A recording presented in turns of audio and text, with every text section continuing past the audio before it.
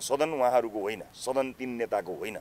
सदन प्रतिपक्षको अझ बढी। नेपाली जनता एउटा सार्वभौम जनताले चुनेर पठाएका जनप्रतिनिधिले जनताका कैयौँ सवालमा कुराकानी गर्नुपर्नेछ। एउटा भाष्य निर्मित गरेर यसो भाष्य बनाइदिएर जुन ढङ्गले यो अभ्यास भएको छ यो एकदमै गलत भएको छ।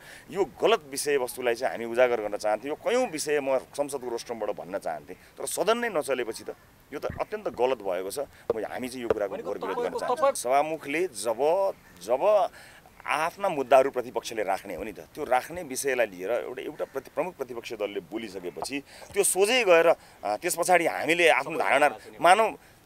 होला कमन विषय हुन्छन्। प्रतिपक्षहरू बिच साझा विषयहरू हुन्छन्। तर त्यसको पनि केही ठाउँहरू हुन्छन्। त्यसमा आफ्नो आफ्नो व्याख्याहरू हुन्छन्। त्यसको कुनै अवसरै दिइएन। र आज पनि चलिरहेको छैन। त्यसले गर्दाखेरि एउटा कुरा त सरकार यदि साँच्चै नै मिटर ब्याजबाट पीडित भएका मानिसहरूको पक्षमा छ जो हामी छौँ यदि सरकार त्यसरी पक्षमा छ भने त्यसलाई अन्तिम दिनमा सरकारले किन ल्यायो? सदन त कहिले पनि अवरुद्ध हुनसक्छ नि त। अहिले यो कारण होला। तपाईँ सम्झाउनुहोस् यस्ता महत्त्वपूर्ण जिरोमा जाने किसिमका अध्यादेश मार्फत आएका विषय जो साठी दिनभित्र जिरोमा जाँदैछ। त्यति त्यो अन्तिम दिनमा ल्याउनुको अर्थ के हो? त्यस कारणले यो अत्यन्त शङ्कास्पद छ। यस्तो किसिमको गतिविधि नभइदियोस् भन्ने हाम्रो छ।